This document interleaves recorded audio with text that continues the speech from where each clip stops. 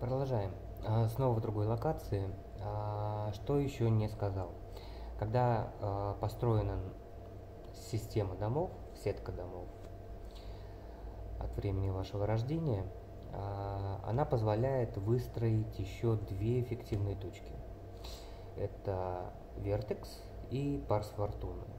Они очень важны, поверьте мне. Многие астрологи их не учитывают и очень-очень плохо. А, притом, я сразу скажу, что вертекс э, лучше при релокации не аспектировать. Это сразу фишка. То есть оставить его просто таким, какой он есть. А, без, э, естественно, негативных аспектов, да, и без позитивных ну, в астрологии они называются гармоничными и плохими. А, что касаемо Парса Фортуны, его, конечно, лучше аспектировать гармоничными аспектами. А в таком случае, то есть гармоничным у нас вообще, кстати, ну сейчас мы к аспектам вернемся. А в таком случае у вас больше вероятности, что вам будет э, ну просто фартить. Ну, Парс Фортуны как бы от этого идет. Он как бы более э, способствует гладкому прохождению тех или иных э, жизненных процессов, скажем так. Итак, э, что значит аспекты? Аспекты – это геометрические фигуры, фактически, да, э, как мы видим в натальной карте, в натальной, в транзитной и так далее – а, это геометрические соединения в несколько градусов, а, в зависимости от градуса, и определяется аспект. Если 0 градусов, это называется соединение. Соединение считается самым сильным аспектом. То есть у вас может, например, в натальной карте соединиться Солнце и Луна. Это очень хорошо. А, либо, например, Солнце и Плутон. Вот это не очень хорошо. Многие астрологи считают, что если какая-то слабенькая личная планета соединяется очень близко в градусах с Солнцем, то она сжигается. Это не совсем верно, они э, начинают действовать просто синхронно. А, да, в духе эгоцентризма, да, потому что Солнце это эгоцентризм но это не значит, что у человека пропадает речь по Меркурию, да, там, или какие, или все из рук ломается, вся техника просто вот так вот. Да, берет э, телефон и сразу ломает. Нет, такого не будет. А, у них начинается вообще аспекты лучше рассматривать как танцы. Есть танцы спокойные, вальс, э, гармоничные, да, там, трины, а, это когда 120 градусов. А, это похоже больше на танго. Танго очень быстрое, нравится обоим, но м, углы острые, скажем так, да, у трина 120 градусов. Ну, то есть изображается это вот треугольник-то, собственно говоря, большой трин, да, вот, например а, углы у него острые, да, и закончится все может быть не очень хорошо. Это тоже интересный момент. А,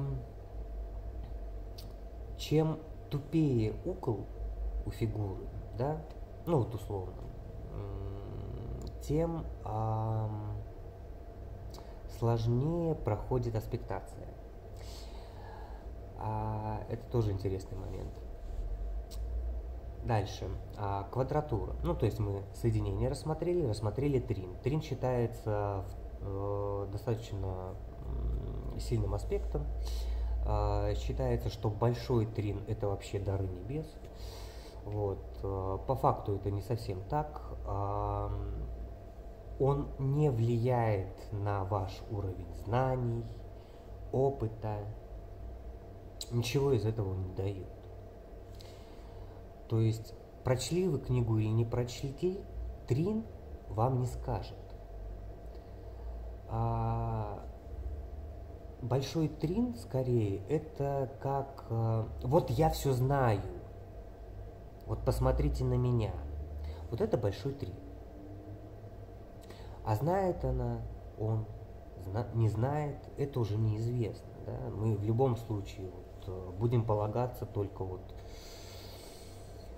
на вот это вот примат поднял руку, да, там выкрикнул всем, да, там я первый, да, вот, и, а что дальше, посмотрим по факту, да, встречают по одежке, провожают по уму. А дальше смотрим. Третий аспект – квадратура. Квадратура считается негативным аспектом, а, у него 90 градусов.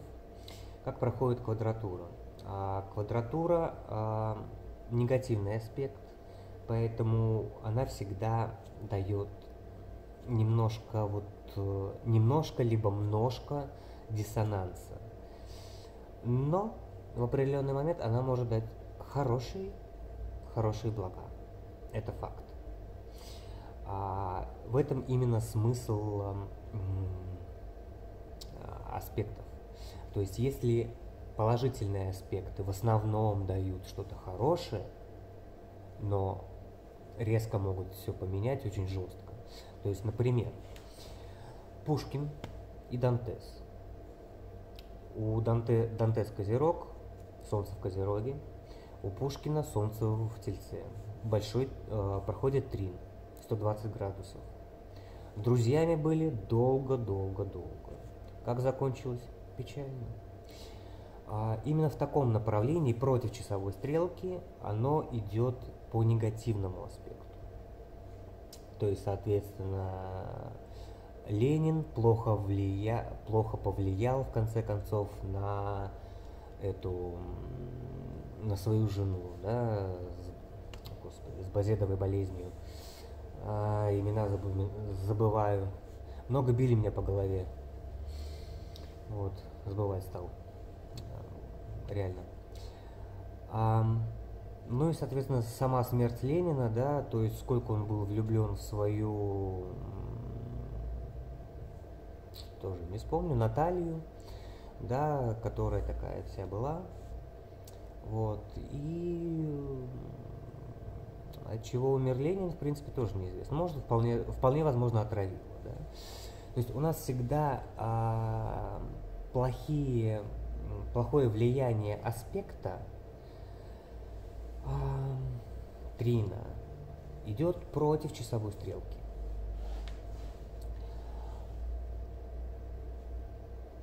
Вот. А, соответственно, то есть гармоничное влияние идет в обе стороны, плохое влияние идет чаще всего, чаще, намного чаще всего против часовой стрелки. А что касается квадратуры, Здесь э, ситуация противоположная. То есть в основном идет все плохо и по часовой стрелке. Да, то есть людям не нравится, у людей претензии и так далее. Вот. Но в определенный момент а, против часовой стрелки человек может получить блага. Это квадратура.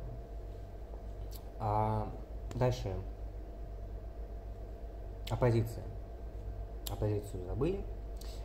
А оппозиция это когда 180 градусов, то есть, например, э, Солнце в Овне и Солнце в Весах.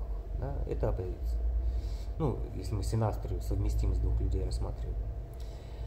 А дальше. Ну, оппозиция считается негативным аспектом либо туда, либо туда, либо туда, либо туда. Ну, как представьте, что у вас есть яблоко, да, либо туда, либо туда. Ну, либо пополам и как-то, как-то вот, вот так вот и решаем. А, ну, обычно так и бывает, да, то есть э, мы не можем одновременно выполнять э, сразу две функции, да, а мы делим время просто, да, на то и на другое. Вот тут вот, это и есть оппозиция. Вот. А, дальше. Ты-ты-ты-ты-ты. 60. А, секстиль считается положительным аспектом, при том, а, секстиль мне нравится больше всего. Вот знаете почему? А, секстиль, он как пластилин. То есть если соединение само по себе работает постоянно, это вот как, э, ну, земля твердая, земля твердая, все. А, ну, провалишься случайно, ну, э, блин, это вот, ну, пару раз в жизни, наверное, да, и, и то не факт. Вот. А секстиль, ну, трин и квадратура, они идут как, э, ну, как с горки спуститься на санках. Ну, само собой разумеющиеся своего рода. А оппозиция, в принципе, тоже. А вот э, секстили, они немножко... Тут нужно чуть-чуть постараться, чуть-чуть что-нибудь сделать. А, ну, не совсем чуть-чуть, да, это вот как с пластилином. То есть сам по себе он форм кирпича, да, купили пластилин, ну вот форма кирпича. Начинаем его продавливать, нужно с ним что-то делать. Поэтому секстиль является еще творческим аспектом. Насколько он творческий, это вопрос относительный. А, ну, потому что из пластилина, да, действительно можно вылепить там множество фигур, а пока ты это делаешь, ты действительно можешь фантазировать. Можешь так, а можешь вот так. При трине у тебя э, мозги быстро не пройдут, все быстро. Соединение тем более. А, при секстиле это вполне реально. То есть, условно, начали беседу об одном,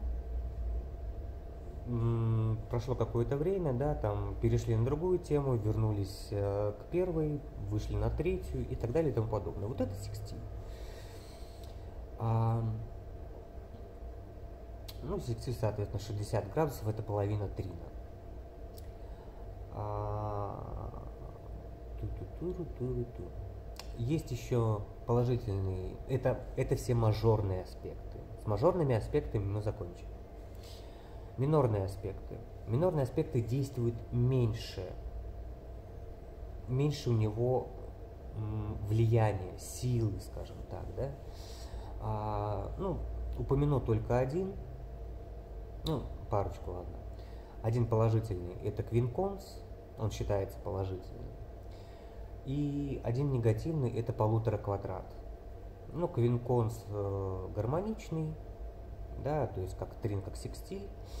А полутора квадрат, он как квадрат, ну, чуть менее минор, чуть менее сильный. Но у него тоже есть, э, скажем так, э, а, кстати, про секстиль забыл. А, при секстиле срабатывает хорошо психологический аспект. При секстиле человек вряд ли сделает что-то плохое. То есть если при трине это сделать легко, то есть Дантес убил Пушкина. Ну, это факт. Да? То есть Трин сработал. Трин между двумя солнцами сработал в негативном аспекте, в конце концов. А при секстиле это сделать сложнее. Нужно постараться. Это, знаете, как это нужно было, например, нанять армию для того, чтобы захватить замок а, еще потратить время, деньги и самому рискнуть. Вот это вот секстиль. Ну вот если бы Дантес, например, захотел убить Пушкина, да, ему потребовалось бы, например, вот это, по секстилю. Поэтому, когда овчинка выделки не стоит, люди обычно не заморачиваются. Когда вроде что-то хорошее обоим интересно, а когда сделать плохое, да еще самому рискнуть, вот тут вот как-то вот уже, этим мне как раз нравится секстиль. Полутора квадрат у него есть тоже творческий аспект. Вот он как раз может действовать очень гадко. Мало кто о нем говорит вообще, но вещь на самом деле ужасающая. То есть э, человек может гадить одним образом, вроде как бы уже привык, да, вроде как бы уже там как-то приноровился, да, там стену какую-то выстроил, да, там, ну, условно. Вот. А при полутора квадрате он, он может еще там 32 способа одновременно получить. И ты тут не ожидаешь. Творческий аспект, негативный. Но иногда выстреливает очень неплохо, как, например, там моральная компенсация. Тоже. А, то есть гадил, гадил, гадил, тут чик, все, прижал. А, ну вот, в принципе, вот так. Ну, соответственно, дальше... Дальше мы что у нас рассмотрим? У меня просто здесь памятка, напоминалочка такая. Давайте рассмотрим дома. Значит, смотрите, я не буду сейчас говорить, э, вообще 12 домов получается, да, вот когда сетку выстроили, асцендент, десцендент, как я говорил, ИЦ, МЦ, вот, э, получается 12 домов, каждый из них имеет свое значение. Продолжим.